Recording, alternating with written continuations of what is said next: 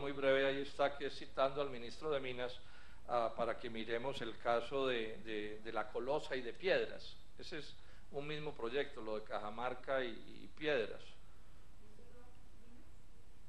Ministro de Minas, sí, solamente.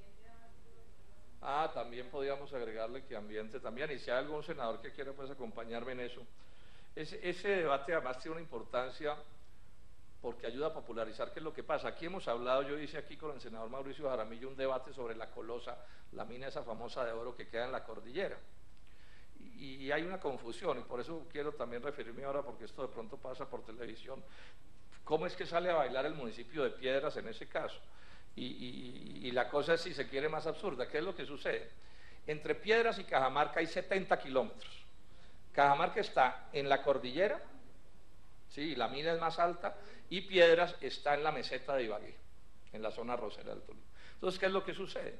Que esa mina de la Colosa, allá en la cordillera, es una mina que tiene mil problemas, entre otros muy graves que eso requiere de mucha agua, y ahí no hay agua porque el agua que podría tomar, que tiene que ver con el río Coello, ya está agotado el recurso de acuerdo con declaraciones, decisiones de la Corporación del Tolima. O sea, el, proyecto lo quieren montar contra la evidencia, porque además las pendientes son muy altas, al lado hay un volcán explosivo que es el Machini, es una zona muy, muy complicada. Entonces, digamos, como el proyecto no logra avanzar en Cajamarca, porque es absurdo hacerlo, entonces, la última ocurrencia de esta transnacional, cuya codicia no tiene límites, es que entonces van a llevarse el procesamiento, porque esos son unos 500 millones de toneladas de roca que tienen que pulverizar y echarle cianuro y agua en cantidades y se saca menos de un gramo de oro por cada millón de gramos de roca. Eso la destrucción es una cosa que a uno no le cabe ni en la cabeza.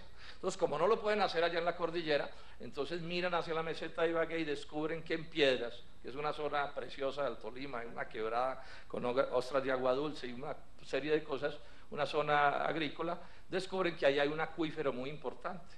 Entonces los del Anglo Gold muy frescos, dicen, bueno, entonces llevémonos las piedras de Cajamarca, las rocas para piedras, ¿sí? Y pongámosles allá la planta de procesamiento y las piscinas con cianuro y todo tipo de cosas, transportándolas 70 kilómetros. Esto es que a uno casi que ni le cabe en la cabeza, o sea, 500 millones de toneladas de rocas para transportar los 70 kilómetros para causarle un perjuicio inmenso al municipio de Piedras. Con toda razón dicen los de Piedras, no, pues llévese esas piedras para otro lado, sí, porque aquí no estamos de acuerdo. A esto se opone el Consejo Municipal de Piedras, la ciudadanía de Piedras, el 98% de los habitantes votaron en contra, el gobernador del Tolima y todos los que nos hemos asomado, por supuesto, le damos la razón a los de Piedras. Lamentablemente el gobierno nacional entonces sale se pega de los incisos y de las normas legales en vez de asumir la actitud política de decir vamos a acompañar a los habitantes de Piedras en ese reclamo.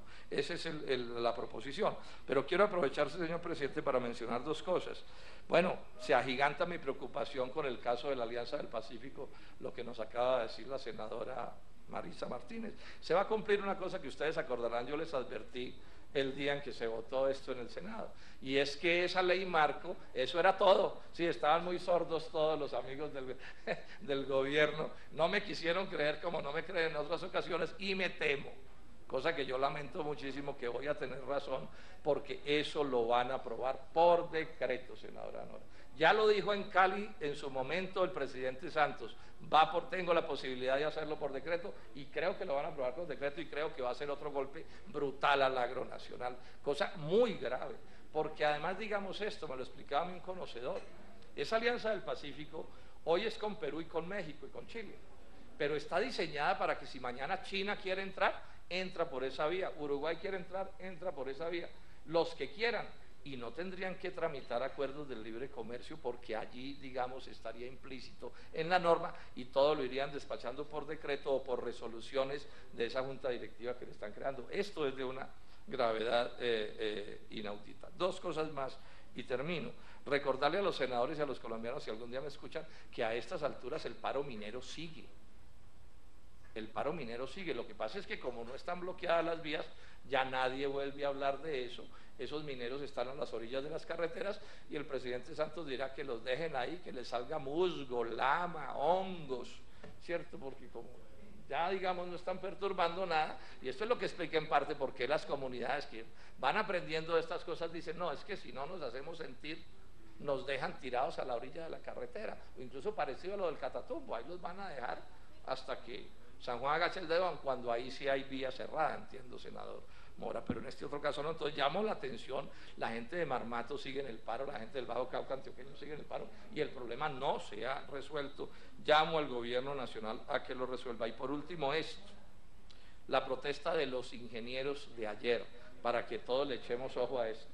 Hay un problema gravísimo, senadores, con las normas de contratación que, están, que han salido liquidan a las pymes de la ingeniería porque los contratos están diseñados casi todos para que se los ganen las grandes empresas y las transnacionales. Este es un problema sobre el cual yo quiero llamar la atención. Este es gravísimo. Es que en buena medida el debate que se está haciendo en Colombia es, bueno, ¿y qué tipo de capitalismo va a haber en este país?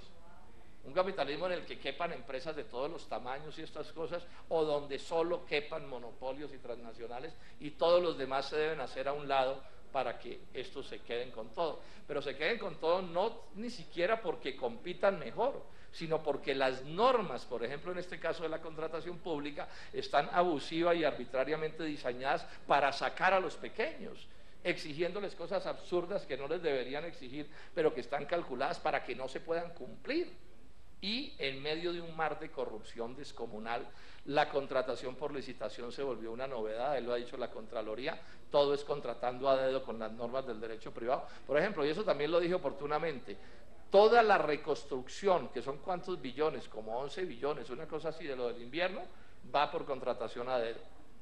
Las 100.000 famosas casas de la reelección van por contratación a dedo. Estas son cosas que debemos mirar porque el país cada vez es un país menos democrático, más, eh, digamos, controlado por tres o cuatro grandes poderes. Don Luis Carlos se quedó con todo, y otros cuantos más eh, semejantes, y por supuesto eso no es positivo. Entonces mi solidaridad a la gente de las pymes, de la ingeniería civil, inclusive no solo las pymes, otras más grandes que están siendo desplazadas por las transnacionales porque no pueden competir. Gracias, señor presidente.